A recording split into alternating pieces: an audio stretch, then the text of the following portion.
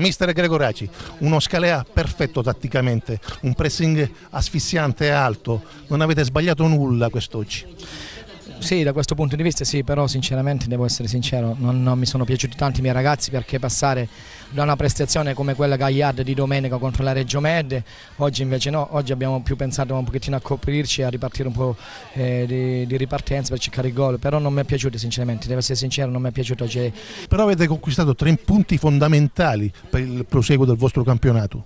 Punti sì, fondamentali, questi erano uno scontro diretto, sono fondamentali, anche perché se dopo andiamo ad analizzare alla fine contano i punti, però dobbiamo cercare da questo punto di vista cercare un po' di migliorare perché abbiamo fatto da domenica ad oggi abbiamo fatto 5 passi indietro, quindi così non va, eh, non va perché voglio che la mia squadra giochi a calcio come è stato fatto in questi ultimi mesi e mezzo. C'è da pure notare che avevo tre carico fuori per infortunio, eh, un Anzalone che non stava bene, che, eh, due giorni che non sta bene fisicamente un poco, quindi avevo 3-4 giocatori sottotono, però oggi Martinez e Pizzoleo sono stati eh, veramente superabili, però devo dire che sia la Reggio, che la Reggio è una squadra molto quadrata e il Corigliano ha dei singoli molto importanti e veramente fondamentali, c'è un cambio passo incredibile, quindi penso però che loro, ah, c'è qualche altra squadra che potrebbe dare un po' di fastidio, però so, secondo me se lo giocheranno loro due.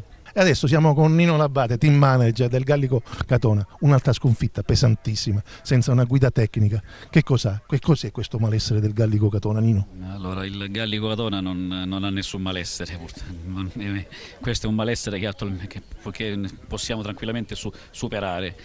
Eh, niente, dobbiamo, secondo me dobbiamo adesso incontrarci nuovamente con tutta la dirigenza e ritrovare quella stabilità giustamente che, che ci sta mancando perché eh, trovare un nominativo, un allenatore che possa guidare il Gallico Catona a risollevarsi da, dalla, da, dalla classifica, tutto qua. Dobbiamo cominciare a fare punti e per fare questo ci vuole un allenatore.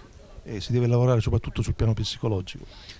Guarda, soprattutto sul piano psicologico, ovviamente mh, ci assumiamo tutte le nostre responsabilità perché evidentemente se fino ad oggi siamo in queste situazioni ovviamente abbiamo sbagliato e quindi è colpa della dirigenza, eh, si, si, sa eh, tranquillamente. Eh, adesso non, possiamo, non, stiamo qui a fare mea culpa, eh, rimbocchiamoci le maniche e cerchiamo di fare quello che dobbiamo andare a fare. Siamo tutti uomini di calcio.